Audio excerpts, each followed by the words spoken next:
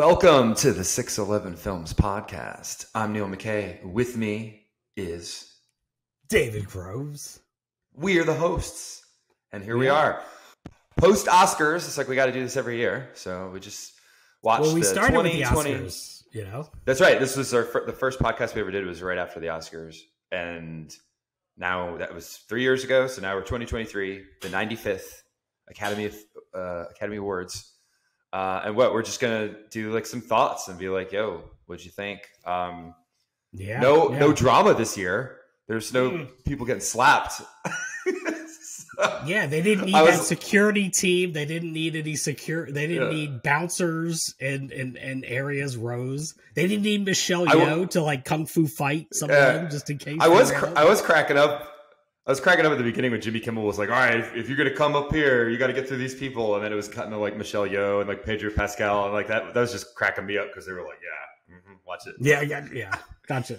And then at the end, he's got the little sign. It's been one uh, telecast without incident. You know, like, yeah, yeah, yeah. right when they good, like yeah. ended the show. Mhm. So, that was um, good. but yeah, he had he had a few. He was he had a few digs at Will Smith. So I was like, um, I mean, you can't not do it, but uh, I, I would say like he. Uh, I think the opening with Jimmy Kimmel was very much, and I don't think Jimmy Kimmel's ever had like. It's unfortunate that you know he's been hosting for three years now, and then or they didn't have the hosts like two two years prior where they were in downtown LA, I think. that's right. But yeah. it was like when he hosted that like second time or whatever it was. That was when Moonlight won. Like he's had these Mhm. issues of like I'm a host and ooh, yikes. I felt this one was very much like you said. They brought the host back. It, they brought all the categories back. It was very much like this is how it usually is. Like it's not. The last couple of years have been kind of wonky with like the Yeah, location and no hosts and just how they did it. And this one felt a little bit more like what we are used to. Yeah, and they even said it too. It's like we're bringing back. Like I, I think I told you or I mentioned. It was like, yeah, remember like like they they cut out this category, that category. I mean, it still went a little bit over tonight, but at the same time, it's like, yeah, bring back. I mean, editing wise, that was a really cool like thing. Like with I, I- for both of us as as editors, it's nice to get that Right. recognition. You know what I mean? Yeah, yeah, because that was like one of the ones they were going to take away, right, or something. Yeah, they took away like the, just putting it on broadcast. Like they gave it to them, or they they they ran more commercials or something.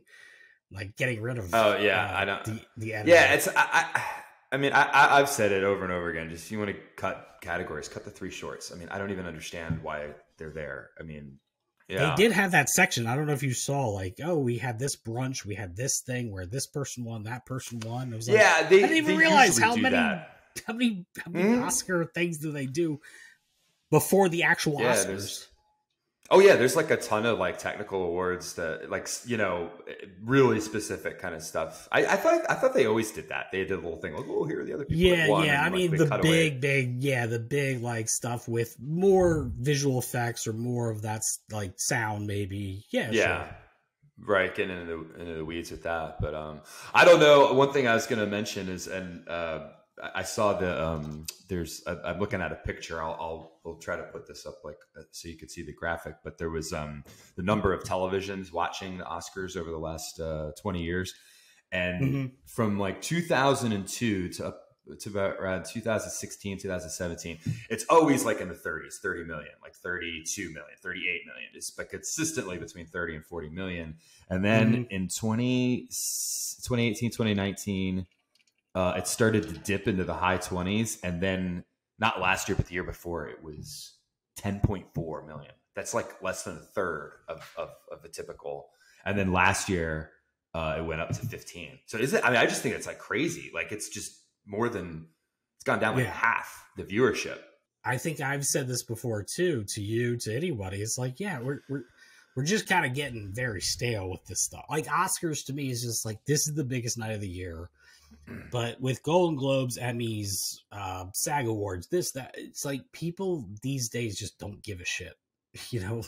Yeah. Oh, they, yeah, they don't. And I, I mean, and I know there's a lot of the, um, you know, pandemic stuff that people like the last thing they want to see is, you know, Hollywood, you know, kissing each yeah, patting themselves on the it's like, back so- after making yeah. so much money.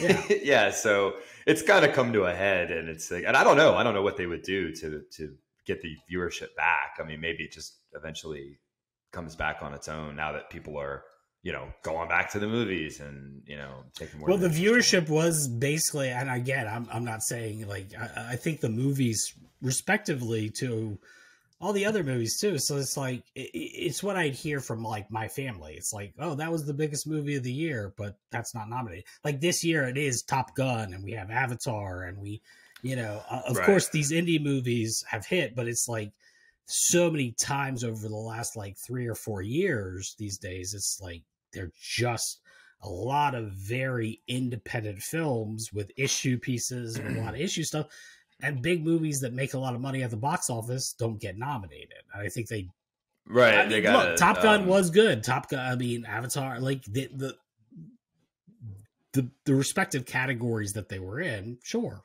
they were so I so I've only seen I think Top Gun, everything, uh, everywhere, uh, and then I've the, seen Banshees. Uh, oh, Banshees! I saw, but I was gonna say I've only seen of the ten nominated. I've only seen like three of them. So, um, okay. Like, and there's, I mean, there's some I really want to see. Like, tri- like Triangle Sadness looks cool. I haven't seen The Whale yet. I mean, that wasn't nominated for Best Picture, but you know, some of those movies yeah. Um, I just haven't gotten a chance to see. Um, and I don't know how you feel about that when I don't know how many years ago they went to 10 movies from five, but I don't like it because it takes some of the prestige out. Like now you're the top 10 movie, not the top yeah. five. And, and you know, like which ones are not winning. Like, yeah, it, it, it's just such a silly thing to do more picture winners. Right. At the end of yeah, it, just to do it, just to say like, "Hey, we did yeah. do the big popular movies," with all the Oscary kind of ideas for uh, you know actors, writing, directing. Uh, you know, it's yeah. just sort of like, but it's like if it's kind not of making a case to showcase these movies.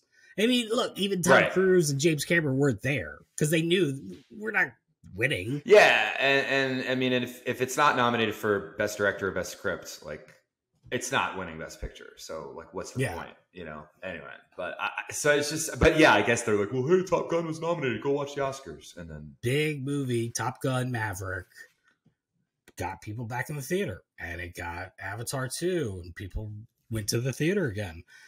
Sure, yeah. The Whale didn't do it. I mean, everything, everywhere, all at once did a, a lot. I mean, they they had a really good theater run for sure.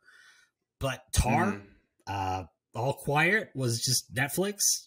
I don't know anybody that saw it. You know, again, it's just like yeah, it's true. Uh, these things, like the box office wise, uh, nothing against any of these movies, but it's just like yeah, we they they feel like maybe they have to do it to to bring people into this world. And again, it's like the yeah. uh, the the the weird thing that they're doing as promos. Like the the Oscars run long enough and then all of a sudden I see like uh, the, the the Little Mermaid. Disney's like, hey, let's yeah. put a promo. There was this. there was some definite like, let's get some money. I mean, they, they had a Warner yeah. Brothers commercial. I'm like, what what are we doing here? like, what? Yeah, like, they did gotta advertise Brothers. a movie studio. Like, they're on. at yeah. Um, I guess like DC and I mean, look, James Gunn is is taking it over and he's gonna revamp the whole thing. But it's like the first thing I see is like you know uh, uh, uh, Melissa McCarthy and, and and the the girl that is playing Ariel or Ariel from from Little Mermaid. right. Like, mm. Why are we talking about this? It's it comes out in the summer, right? Like yeah. Where does it's, this it's, lie? It's, it's a it's a blatant kind of yeah like, like, cash grab like ad thing, and I was like, uh, I don't know about this. Yeah. And, um, it has nothing to do with the Oscars, but those Snapchat ads were terrifying where they had like all the weird faces. They look like oh, that yeah, Momo yeah, yeah. Japanese ghost story thing, and I was just like, wow, all these people with this face. I'm like, stop it. go away. Yeah, yeah. They had they oh. had a, like. I mean, I gotta I gotta go back to see that. I did see like one of those ads, but again, it was like the the Little Mermaid. The WB is like, hey guys, we've been around a long time. You know, it's like because Disney is so so big with having Marvel and with having all their stuff. It's like they probably need to say to people like we we've done a lot of cool shit too, right? Remember us? Yeah. we're we're Warner oh, Brothers. Man. And then yeah, the whole thing about the, the the the museum, which I don't I actually don't that could have been a cool promo because I haven't I haven't been there yet, but in West Hollywood or around West Hollywood, West LA, there is the big like uh, Academy Museum that looks really bad. Yeah, something something like that. When you're bringing my attention to something that maybe I don't know about, then okay. But like, I don't need to. I don't need you to tell me how great Warner Brothers is. Like, come on. Right. Yeah. You know. But um, any um, did you did any surprises for you? I didn't feel like there's I didn't Like think there was. Any, I, one- I I think I texted you. I texted some other buddies. You know, everything, everywhere, all at once. Gonna sweep. It's gonna hit at least best best picture. Um, I was I Yeah. was kind of I was rooting for a little bit of Hong Chau. Uh, she was in the whale. Um, she's also been in the menu. I actually worked with her uh, on this little web series called Trenches back in 07 it's just fun to see like someone you've worked with that like you know is now making yeah, that was really fun. cool. Es- Especially because of the, you know, our hometown, or well, my hometown. You moved there for college, uh, Fairfax, Virginia. Like just a connection, you know, to that. Yeah, that, yeah. is pretty cool. And I didn't even know that was her. And I, and then you were saying that, and I was like, oh wait a minute, because I, had just seen the menu in the theater, and I was like, oh yeah, I saw her in that. Very cool that she got a nomination. Yeah, man, So, yeah. Did you? And now, now going back to everything everywhere. Did you? I- You you like that movie, right? I think I did. I enjoyed it. I enjoyed it a lot. I don't know if it's something where I'm like, I think the biggest thing, like, uh, of course, the martial arts fan, the big fan of that, Mm. Michelle Yeoh, seeing Ke Huy Quan, uh, short round data coming. What he's in this movie? I guess Yeah. it's just like kind of that nostalgia, like seeing Jamie Lee Curtis in kind of a wacky role. Um, I, I I did like it. I think the editing was crazy. The editor that won, he won tonight too. That's great because as an editor too, it's like, how do you keep all this crap together? It's so much footage. Yeah. Oh yeah, Like, that I- was I that look was at a- a job. yeah, dude. I look at it, a wedding that has 17 hours of footage, and I go, oh, how do I get this down to Yeah. 15 minutes? And it's like Yeah. they have thousands of hours or whatever. It, I, I I didn't love that. I think that that movie could have had some edits. It didn't need to be as long as it was. It didn't start really for me. For I mean, it, it took a while to get it going. yeah. but I did enjoy Yeah. it. I did like it. I um I I really wanted to like it because it looked like it was cool and weird and out there and all the dimensions and you know alternate realities. But I kind of hated that movie, and it's I, I didn't really like. I just kind of was like, eh, it wasn't my thing. But the fact that it got all the nominations and everybody was raving about how genius it was made me start to hate it because I was like, what are you talking about? And I think I just can't take it seriously because of like hot dog fingers. And I mean, they had, they were sticking things in their ass to get like to different universes. And it's like, it's like, who wrote this? A five year old? Like, you know, stuff like there's a raccoon on a guy's head. I'm like, it just, it just seems so silly. Like, what is this? Like, yeah, there was a lot of yeah seriously. that that I think that those silly parts too. Like there's the rock that has the eye. They did the eye thing with the you know like the kind of funky eye. I Yeah. mean, again, it's like I, I I'll be honest. I thought the same thing when I saw like Swiss Army Man, or I didn't even. I don't even think I kept going. It's like ten minutes in. It's like they're farting to get through the ocean. Like you know, Yeah, okay, so that's a- Radcliffe that's a and great- Paul Dano. I'm Yeah. like, what is happening? Uh, Yeah, and it's just that's a movie weird. that I, I uh, Swiss Army Man. I, I, I don't even think I got through. I think I may have got through like a third or a half of it. I was like, I can't do this.